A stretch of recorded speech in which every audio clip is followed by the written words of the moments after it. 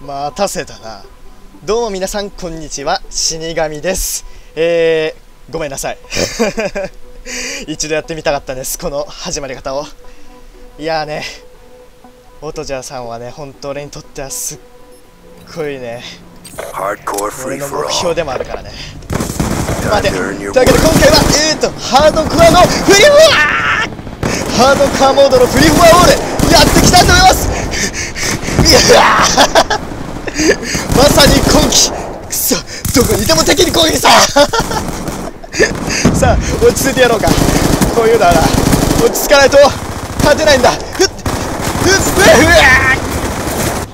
というわけで今回や ちょっと待って。落ち着かせてくれ。頼むから。ああ嘘。ここにいるんでしょ？あ今あいたうわやばいってうわ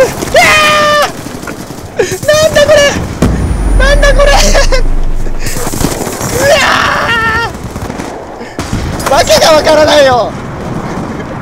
ただの死亡心じゃねえか。危ねうわどどこ行ってんだ。うそ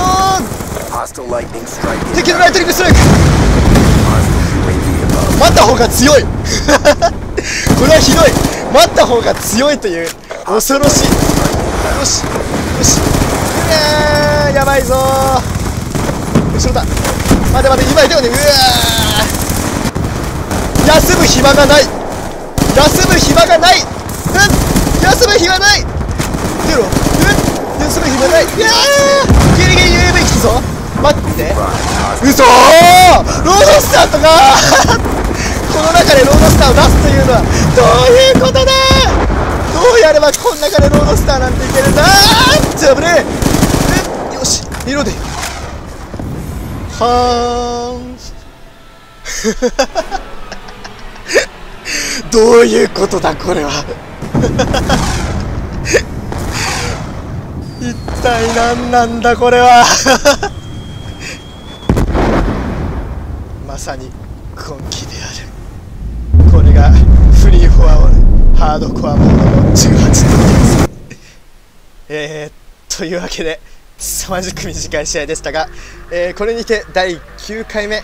どうしようかこれ。おまけとして動画の最後につけておこうかな。というわけで、えー、終了したいと思います、えー、視聴してくれた皆様ご視聴ありがとうございました。